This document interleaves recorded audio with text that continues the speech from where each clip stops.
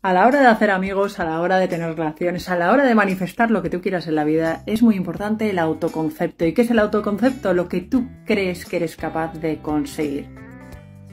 Celia Vergara estaba hablando sobre Barbara Streisand y cómo es que aguante tantísimo cantando una nota. Bueno, y ella contesta, porque quiero.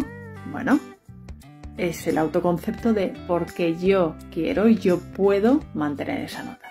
Imagínate que tú quieres ahora tener más amigos y empiezas a decir, es que tengo un montón de amigos, es que soy una persona con un montón de amigos, tengo unas habilidades sociales tremendas.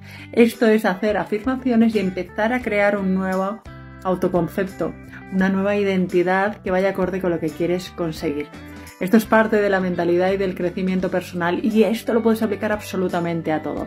¿Que quieres eh, atraer hombres para relaciones mucho más sanas, bueno, pues empieza a decir, es que yo traigo hombres que son súper sensatos, súper divertidos, súper interesantes, que me respetan un montón, que quieres tener amigos a los que te diviertas y además te aporten mucho. Bueno, es que yo siempre tengo unos amigos increíbles, de generosos, interesantes, divertidos, que me aportan un montón. Tu diálogo interno es el que está creando tu realidad tu vibración, tu energía interior también está haciendo que atraigas unas cosas u otras. ¿Por qué?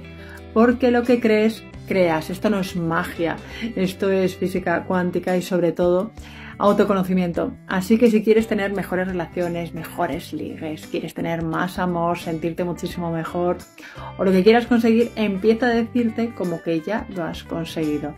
Estas son técnicas básicamente para empezar a traer una nueva realidad. Cada día te repites los mismos pensamientos una y otra vez y no te estás dando cuenta. Y el 80% de estos pensamientos además son negativos. Así que imagínate qué clase de realidad estás creando.